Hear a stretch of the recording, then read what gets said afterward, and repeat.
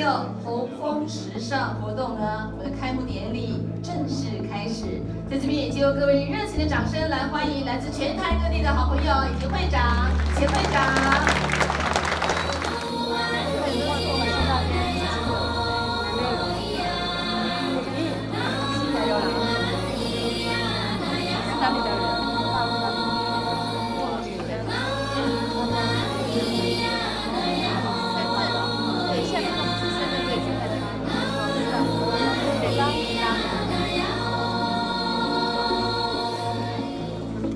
讲招来我未来，招在我不在，招头来啊，咱还未来；招头能够第咱唔来过去都一样拍过啊。所以咱才是贵客，我们能够呢，在我们存在的世代，代表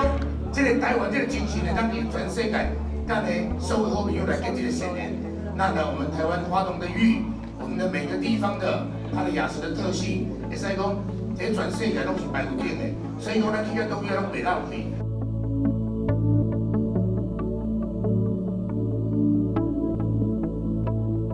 各位花莲的乡亲，大家好！我们现在所在的地点啊，是花莲文创园区第九号展览馆。我身后呢，这个展览馆里面展出的是我们奇石协会呃一百零五年度的会员年展。那它的名称是侯峰时尚。那这一次的展览，呃，最大的一个亮点是我们是采取展售合体来呈现的，也就是我们的展场。就是我们的卖场，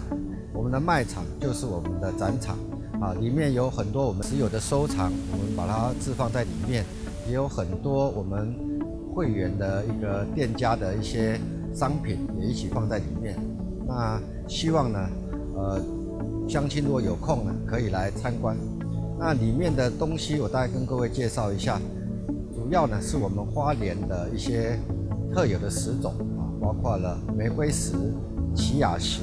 还有一些呃红石、金瓜石，